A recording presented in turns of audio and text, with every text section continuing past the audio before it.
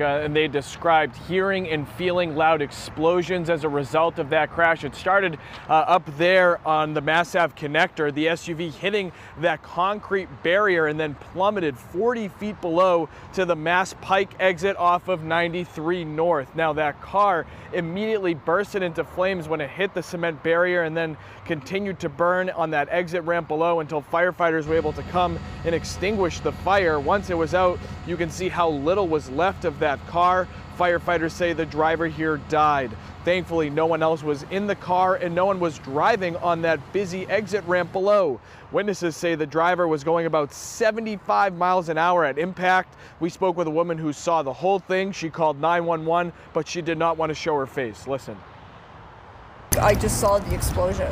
I don't know if it crashed or if it blew up and came over. That's basically, I heard a big kaboom and the vehicle flew up over the side and landed on the ground. Oh, I would say at least uh, 40 feet. Yeah, 40 feet drop.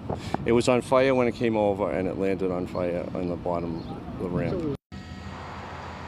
Now, crews worked for hours to remove the driver's remains from the vehicle. Both MBTA and Amtrak service was halted temporarily as a result of this crash that happened right next to the Widett Circle tracks. 93 North and Frontage Road also at a standstill this morning. Back here live, you can see they've put up some temporary fencing up near that concrete barrier there as traffic here has reopened. Uh, it's unclear what caused that person to speed into that barrier, leading to their death.